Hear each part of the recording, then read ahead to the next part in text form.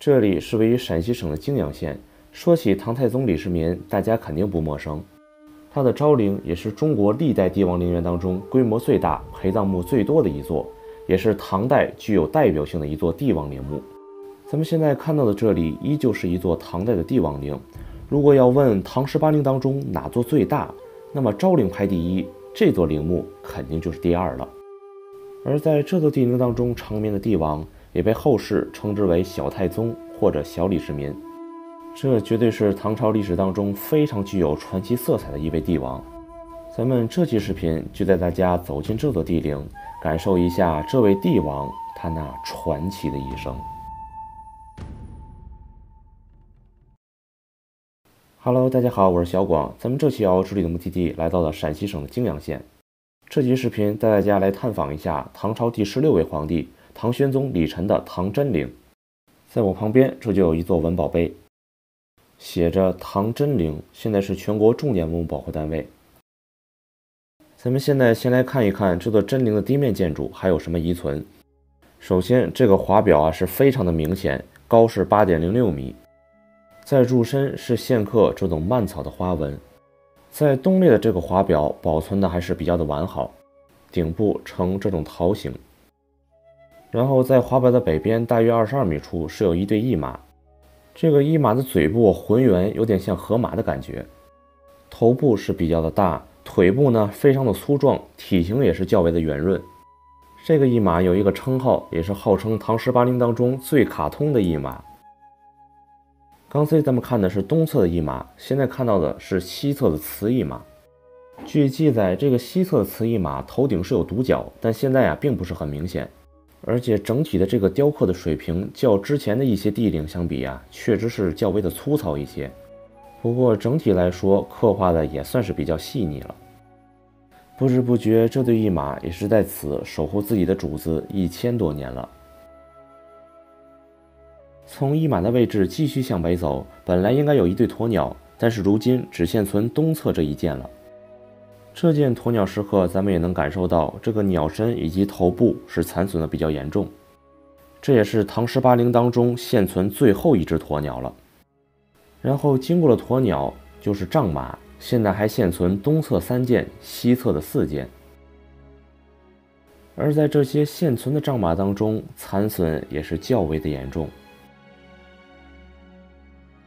再往北走，咱们就可以看到如今真陵现存的石人，也就是翁仲。如今现存东侧八件，西侧九件。在这其中，完整的石人翁仲一共有十五尊，这在晚唐当中算是保存最多的。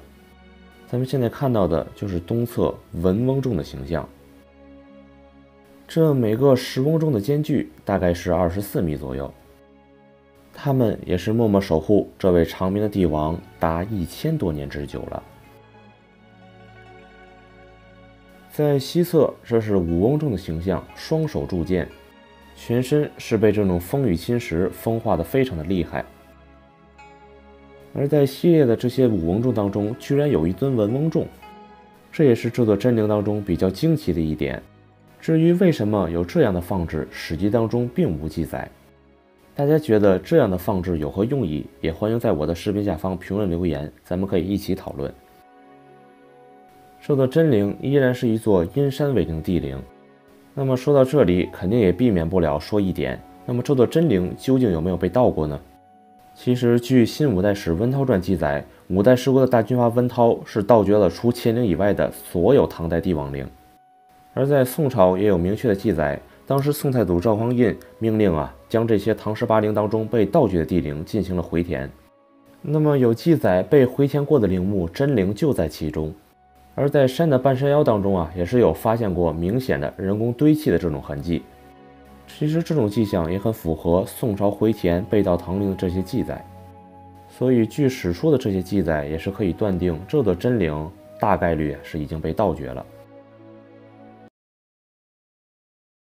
刚才咱们说到了，在唐真陵长眠的这位墓主人是唐朝当中非常具有传奇色彩的一位帝王，在三十六年的时间里，靠装疯卖傻、沉默不语蒙蔽了所有的人，并在登上皇位之后与登基前判若两人，在位期间也是颇有一番作为。这位唐宣宗李忱，他的父亲是被称为唐朝中兴之主的唐宪宗李纯，他也是唐穆宗李恒的异母弟弟。他的一生可以说目睹了他的父皇宪宗、他的哥哥穆宗以及他的侄儿敬宗、文宗、武宗五位皇帝的朝政。其中，他做了一朝的皇帝，三朝的皇叔。按照辈分来讲，他是敬宗、文宗、武宗的皇叔。但是论年龄，他比敬宗和文宗还要小一岁，只比武宗大三四岁而已。这李忱从小就沉默不语，这一度导致宫中的人认为他不聪明，并且从小他还身患重病过。在文宗、武宗两朝的时候，曾经在宴饮集会上强逼他说话，以此取乐。尤其是武宗有点瞧不上这个李忱。在这种装疯卖傻、沉默不语三十六年之后，当时武宗病危。这时候，宦官马元志等人认为李忱比较好控制，就把他立为了皇太叔。到后面呢，成为新的皇位继承人。在李忱监国之后，他满脸悲伤地接待下臣，决断事务。这时候，众人才见到了他的隐德。在同年的三月二十一日，武宗驾崩，李忱正式登基为帝，当时三十七岁，是为唐宣宗。在唐宣宗继位之后，他终于不用再隐忍了。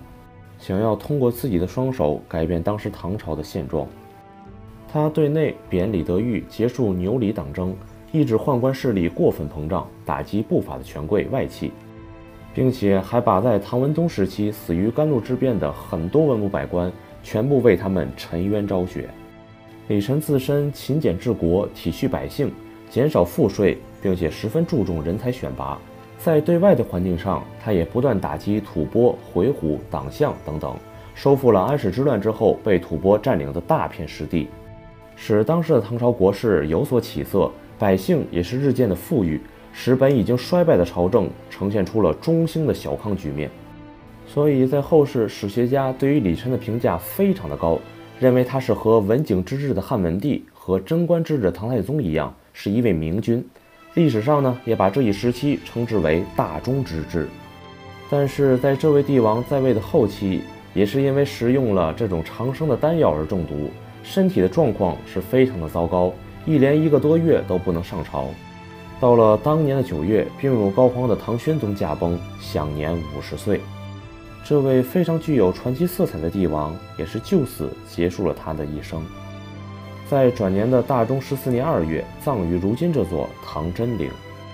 现在咱们来看这座山，群山莽莽，峰岭相连，层峦叠嶂，错落有致。在一千多年之后，仿佛还在向世人们所诉说这位唐宣宗，这位被称为小太宗的帝王，他那非常富有传奇色彩的一生，以及他为当时的大唐王朝带来了何种的改变。岁月悠悠，当时的一切已经淹没在历史的长河中，但是这座真陵在一千多年以来，却一直守护着当时大唐王朝最后的荣光。好了，这就是唐真陵，就给大家分享到这里。喜欢我视频的朋友，也欢迎大家点赞加关注。那咱们下期的遨游之旅，再见吧。